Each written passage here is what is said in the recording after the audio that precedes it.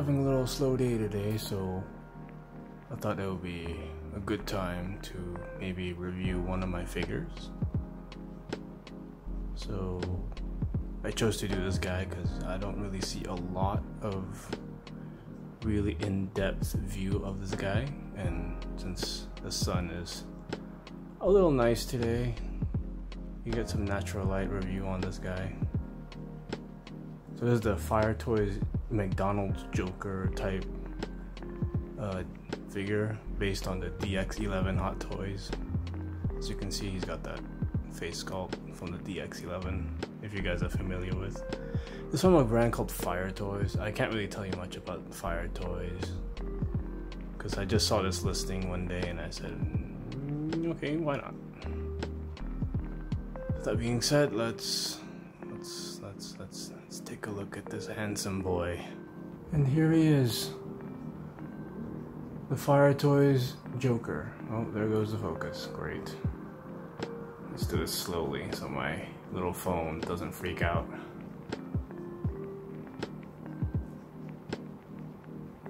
There are those little red shoes over there. Really nicely made. Still intact, not peeling, not cracking.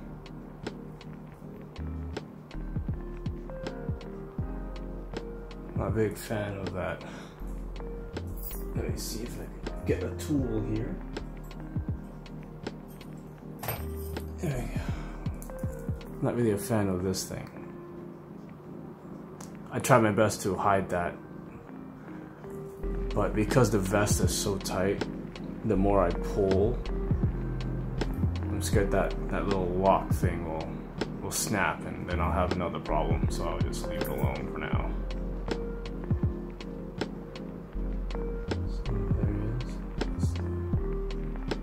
Have to rotate them slowly because my camera tends to um, freak out.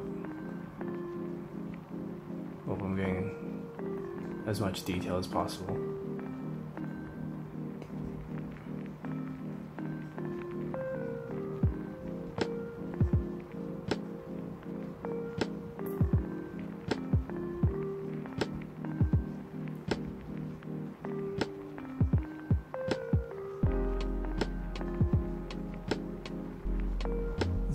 Back.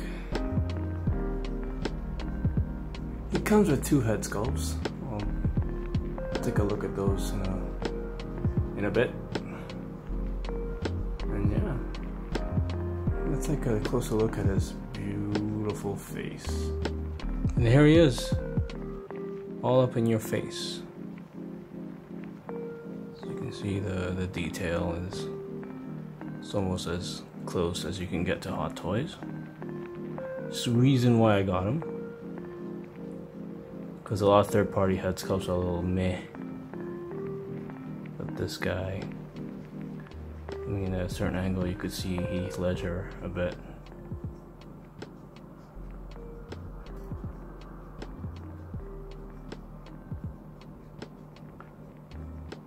See if we can get some light there.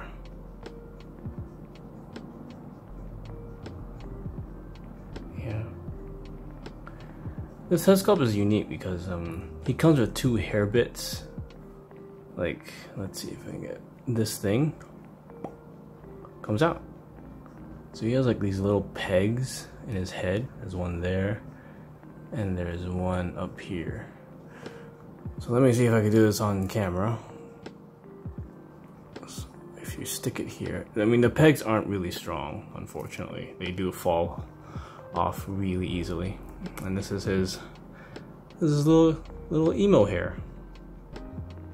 Little Maybelline hair, maybe he's worth it. So here you try to stick it on him. Very, very genteel. Sorry, out of focus. And there we go. I mean, he does look pretty. Well, he looks pretty, but he looks pretty weird to me because that thing is just it's just sticking out there like it's supposed to replicate wind i'm, I'm, I'm guessing but it, it doesn't really uh, yeah, maybe like this you could you maybe like you could see it but i don't know man this is kind of I could have done without this little weird attachment because you could see the seam lines here. And you know, if I take it out, he has a weird square peg just just sitting on his head. But, you know, it's on top of his head. So if you have him posed maybe front, you, you don't really see it as much. It doesn't really destroy the, the whole head sculpt. I don't know, yeah, I don't know why they added this. It doesn't really make him look cool. Makes him look a little a little edgy. Like you could cut yourself with how much edge this guy has. So edge. Let's see a close look. Uh, there we go. Sorry my hands are shaking. I just had a donut and I'm having a little sugar rush, I think. Ah, there we go. Let's take a look at his other head. So here's his other head, the laughing one. Now what's unique about this is he looks like he's a he's a sweaty boy. If you can see, he's got one too many Happy Meals in him. I mean, I don't think the other DX11 had sweat particles like this. I mean, the DX11 does look greasy. But he doesn't have this little speckling, these little water drops. Which is pretty unique. I don't think Hot Toys ever did things like this before. He's, he's glistening, he's glowing, he's happy. He's like, one more, please. One more burger. One. Ah. Alright, so this is the this is the official Hot Toys DX11. And this is the Fyre Toys Joker McDonald's guy. So, as you can see, if I could frame them properly. How do reviewers do this? I got my dumb phone, a weird stool. Alright, you know what? Let's just do this. Yeah, I think that's okay. There we go. I don't know, what do you guys think? They look pretty close. They look pretty dang close.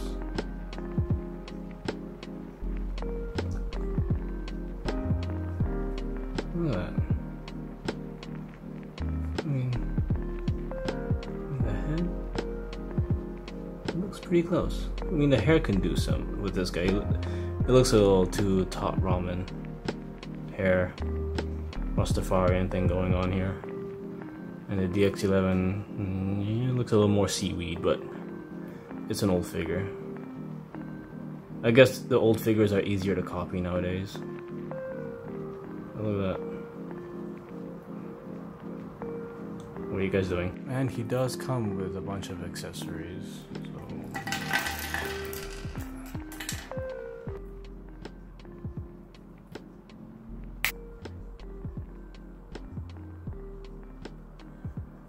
Here are some of his accessories he comes with. Uh, this guy is pretty loaded for the third party. So let's go through them one by one, shall we? So first off, you got this, I want to say it's a flashbang or a smoke grenade. I'm guessing it's a smoke grenade because of that one scene at the bank where he shoves this thing in that one guy's face. So this, yeah. And then we have a grenade, a wee tiny, tiny grenade. Oh, there's flickering going on. Let's see if I can fix that. Flicker, flicker, go away. There we go. Oh, it's brighter too.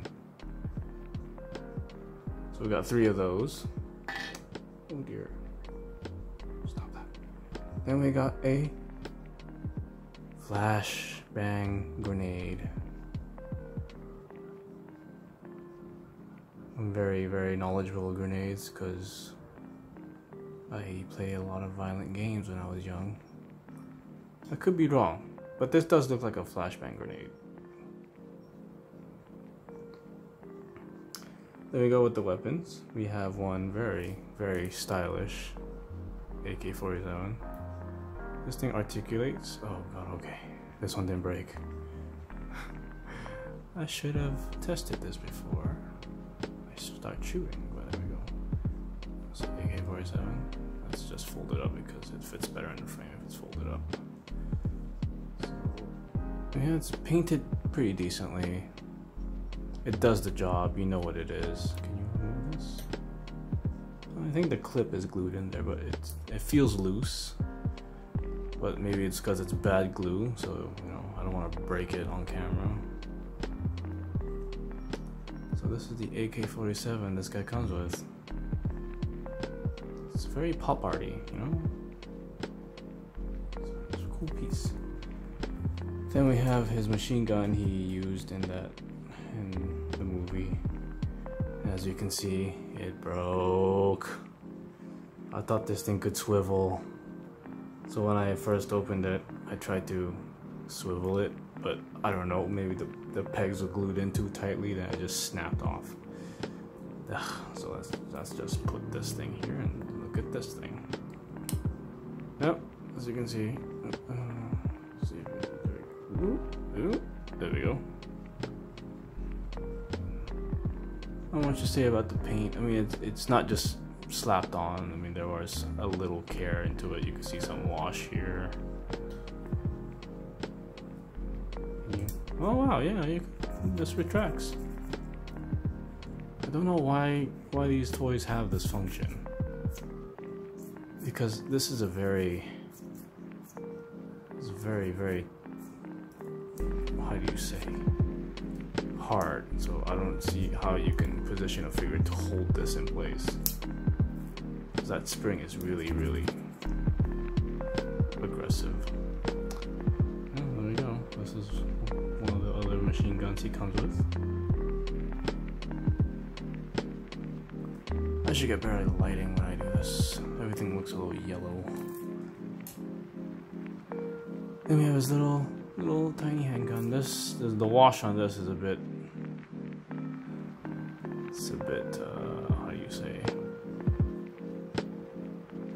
ambitious?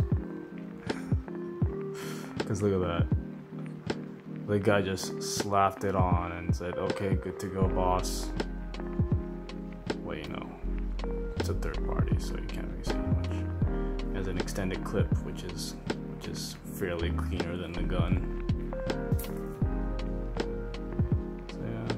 I don't display this guy with the guns because I don't not my style to do that. Yes, yes, you have an you have an obnoxious car. Good job. Okay, then we have this. It's a large cup of Coke. Yeah, the Ronald McDonald over there. Let's see if I could fix the yellowness a bit. Yeah, is that better?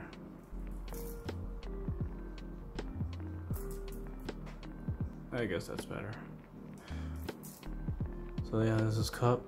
This is, got some ice. Straw.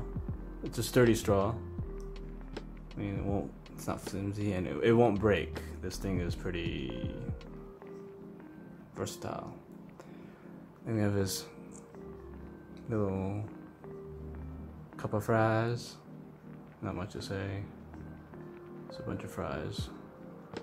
If only McDonald's fries stuck out like this. No such thing. We get them all soggy and oily here. Then we got his little burger. Fat burger, actually. Look at that. Jesus. It does come with a hole. I don't know what that hole is, but it's there. Maybe it's to grip it, so you could put the thumb in there, and then he's eating it. Yeah, but this is the, the burger he comes with. And along with that, he comes with three extra hands. And these hands are pretty basic. The detail is there. I mean, you can see it's a glove. It's very nicely detailed, but the paint is it's just one one shade of paint really. There's nothing there's no real paint detail into it. I mean, yeah, you could put the burger in here and it's a good time. Some fries with your burger, man? You want some fries?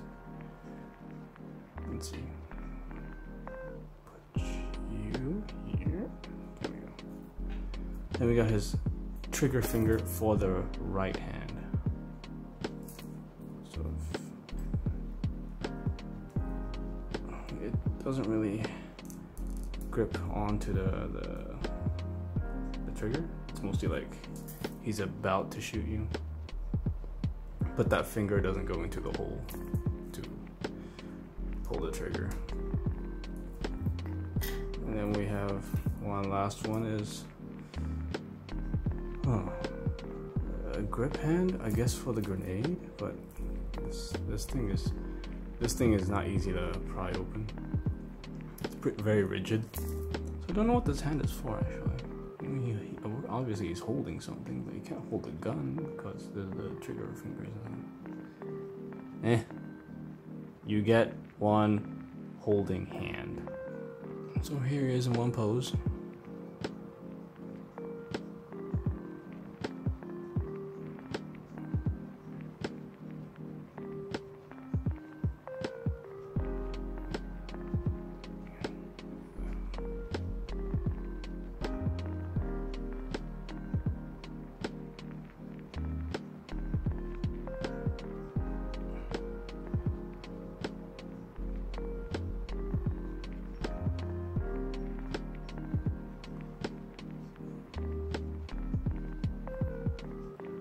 Call this pose, would you like fries with that? Here's one last pose for you guys, because the sun's going and I have to use my little yellow lamp to capture this video, so any longer then I'll have no more lights. It's looking like a very yellow video, but here he is with the, his trench coat on I don't know, it looks like he's wearing a bathrobe. Doesn't look like a like a very sophisticated trench coat. It looks like a bathrobe. And the material also doesn't really help because it's, it's like this fluffy kind of thing. So he is holding a large cup of Coke. And I call this pose Coked Up. Well, that concludes my review of this guy.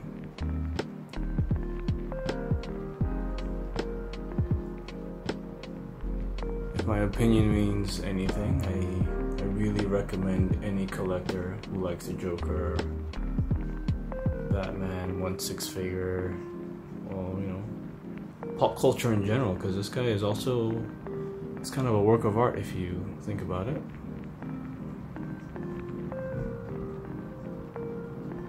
A little nod to modern consumerism. Now, his official name is Uncle Burger Clown. It's not the joke of McDonald's because obviously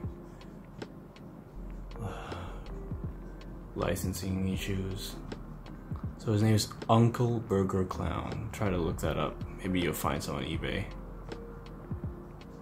But for me, I have not seen this guy on my local listings for a while. I'm lucky I came across him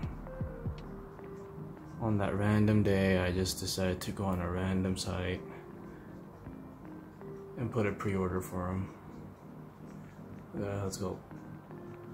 Look at that greasy face. Look at the meat sweats.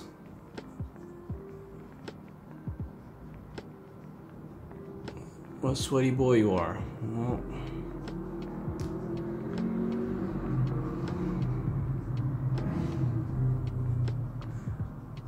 Sorry about the motorcycle noise, guys, but you know. A lot of morons driving around here likes to show off their little cars with their big exhaust that doesn't go very fast. It is what it is. So that's it, yeah. So go get him.